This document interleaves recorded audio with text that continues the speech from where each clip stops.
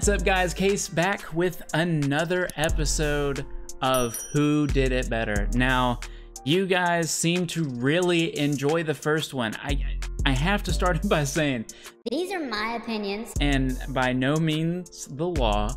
Um, and uh, you know, I just hope that you guys can understand and jam along, and maybe you agree with me, maybe you don't, but they're they're just meant for fun. Like this is all entirely meant for fun. Um, I have really, I really enjoyed the first episode. Uh, this one, you guys seem to. There was actually quite a bit of suggestions for this, and uh, it was really hard to pick. I wanted to go with something that was a little bit more familiar this round, um, and uh, and it seems like this would be a really fun one for everyone to listen to. So this one, this this this one's gonna be I feel like a little bit more eyes on me because both these bands have very, very, very intense follow uh, following, and uh, rightful, rightfully so. I love a good die-hard following of, a, of an artist. It really means that they really have spoken in, in, to their audience and really been captivated. Uh, I am not by any means um, biased to either of these bands. Uh, again, I've I very briefly listened to one of them, and the other one I, I have listened a little bit more, uh, but not in the recent. So this time, it's it's it's it's gonna be it's gonna be interesting. I'm really curious of what you guys have to say. So without further ado, it is time for who did it better.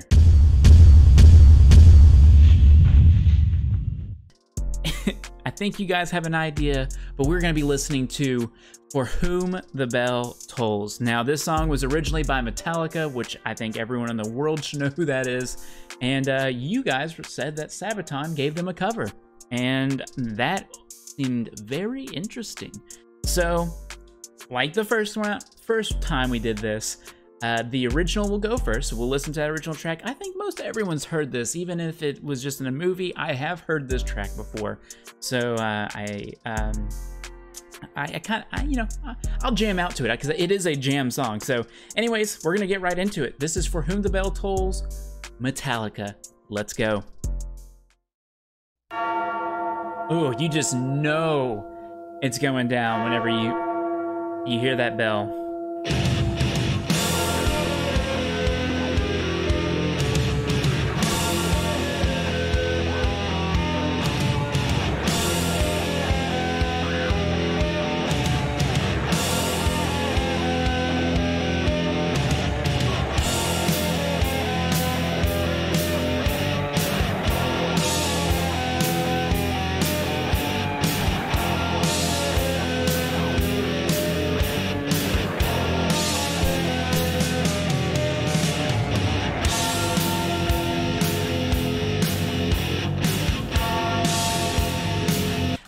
Still to this day one of the coolest riffs.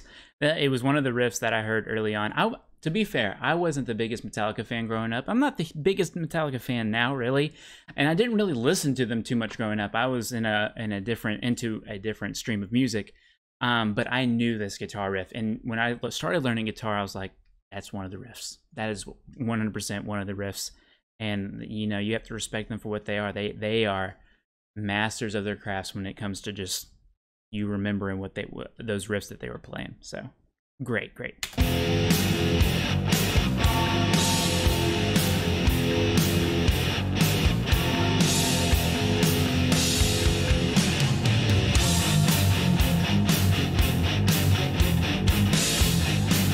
Oh yeah.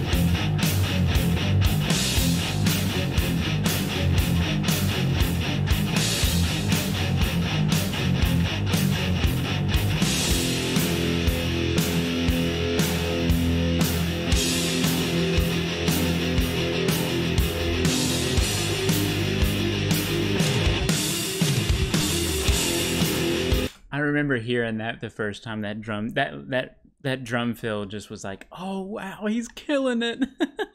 and uh, how has how has metal you know evolved? It's just it's hilarious. I, I remember hearing that as a as a youngster and being like, man, that is just the most crazy drum fill.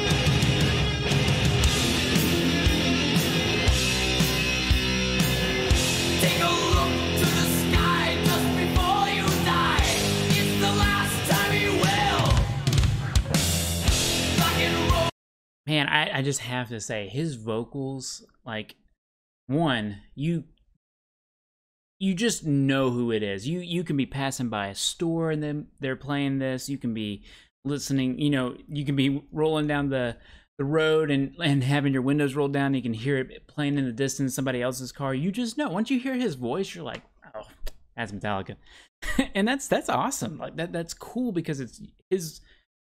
And really, to this day, I don't really feel like no one's really r- replicated him. And maybe they have. I just haven't heard it, but no one's done it at his level. Um, and that's that's a there's a lot to be said to that. I mean, he really he's in his zone. That's that's awesome.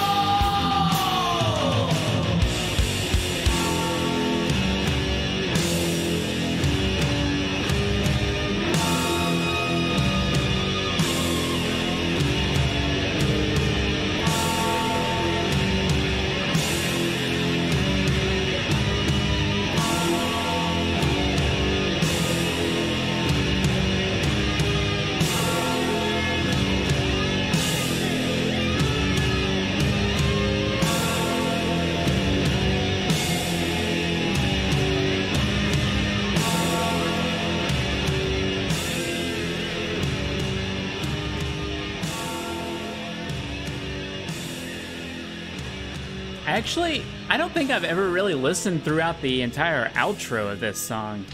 That's freaking wicked sounding. oh man. They're still going. They're still going. well, uh, you know what's funny is I have not listened to this song in so long that I actually forgot quite a bit of this track. I know that, you know, people are gonna be like, kidding me? But I mean, I just I listen to a lot of different genres, a lot of different you know music, and I hadn't been around this area of music in a while. This was nice. It was it was actually really nice, nostalgic to listen to this, and then you know bring me back to my youngster years. So yeah, I mean, obviously, guys, it's Metallica. I mean, it, it should be a given um, that they're going to absolutely just just destroy. I mean, it it, it, it it's a tough one because you know everyone has a a, a um, you know Metallica is like you know up here like that that's like up here. So I mean I, I you know I said about Amaranthe with Sabaton's song. You know Sabaton has has some heavy heavy work cut out for them. You know because you're you're taking one of the tracks that's I mean would be like I guess you could say god tier and uh, and you're you're you're covering it, so you got to do justice. I'm really, really, really interested on what Sabaton does here. Now, I'm gonna throw this out here. Personally, I actually like Sabaton's vocalist a little bit better, so I'm and I'm kind of curious on how he he sounds on this. So, I, I between obviously I, I know both vocalists now. I, I think that they have me a little bit there, but I mean, can can can you beat nostalgia? That's the question. That's that's where it's at. So we gotta see. We gotta see. Up next is Sabaton. Let's see what you got. Three, two, one. Let's go. Oh.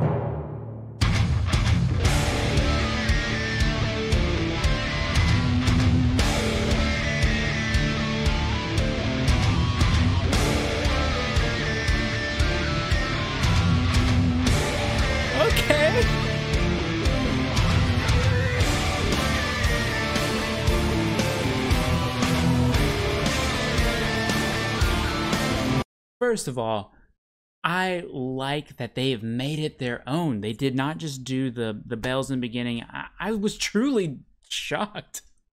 And that's impressive. That's that's what you want in these. In a cover, you don't want a cookie cutter version of it. You want their own you want to hear their own interpretation. I feel like Amaranthe did that really good with 82nd All the Way, is making it their own. And uh, Sabaton is doing it here. This is crazy cool at the beginning. I was not expecting this.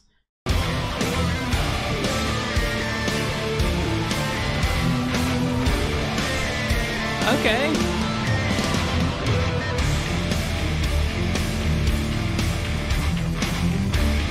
Am I hearing some strings? Oh yeah!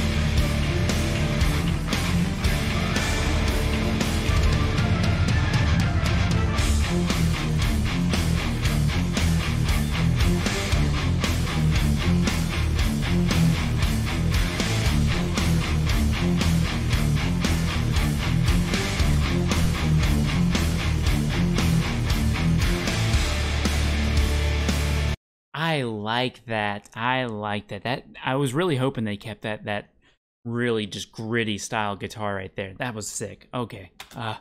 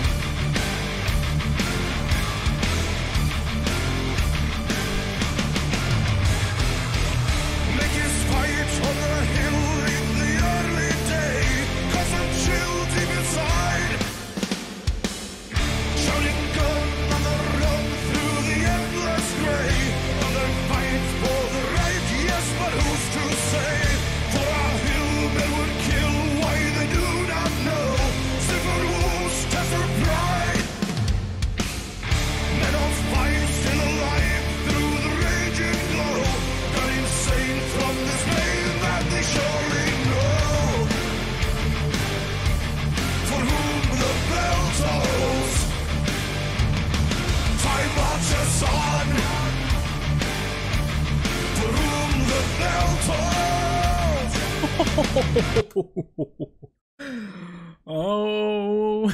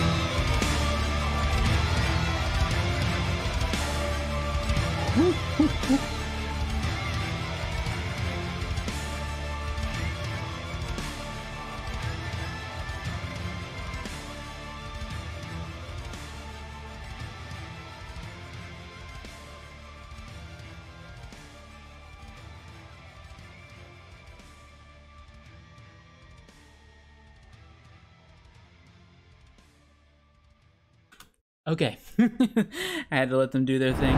Why do I put myself in these positions? Why do I do this to myself? I, uh, like I said, the first one, I already, I see all eyes.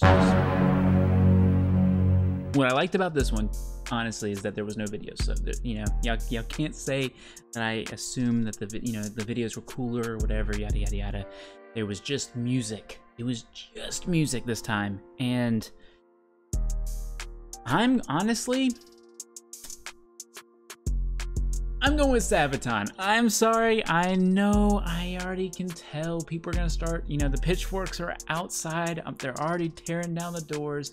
I know, guys. Again, this is all for fun. This is all for fun. And it's my opinion. I, I think that, that that is, uh, that can't be stressed enough here. I, who am I to say which one's better at all? I can tell you guys that I honestly, I prefer Sabaton's vocalist better. I also, you know, and I'm not going to take into account like the, the, the age, you know, of when these were recorded because obviously Sabaton's, uh, uh, you know, newer.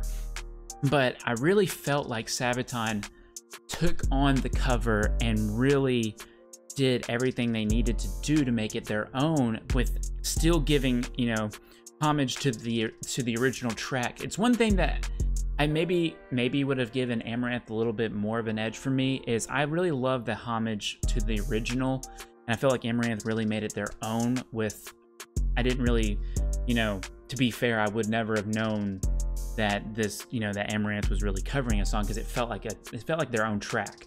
But I, with this one, and maybe that's where I'm like where I kind of find me leaning more towards Sabaton's, is I really felt like they gave homage to like the umph degree of where they it was perfectly balanced. It sounded like their own, but it also it also sounded like a true cover too as well. They added so many dynamics to this track that just really brought out its intensity and you know it and it's there's a lot to be said for a band that can really take such a groundbreaking amazing song that will always have its place edged in history especially from like you know metal and stuff and really just bring life to it and revitalize the track. Um, and that is really where I find myself leaning on Sabaton's side here. Guys, I love these. These are so much fun to do. I had such a jam. It was such a jam time. I had such a great time. Let me know what you guys think. Tell me why I'm wrong. Tell me why, you know, you agree with me. And like I say every time, give me more suggestions down below. I, you know, these are this is such a fun series, and it seems like you guys enjoy it. So, without, you know, further ado, I appreciate it, guys, and uh, we'll see you next time. Thank you.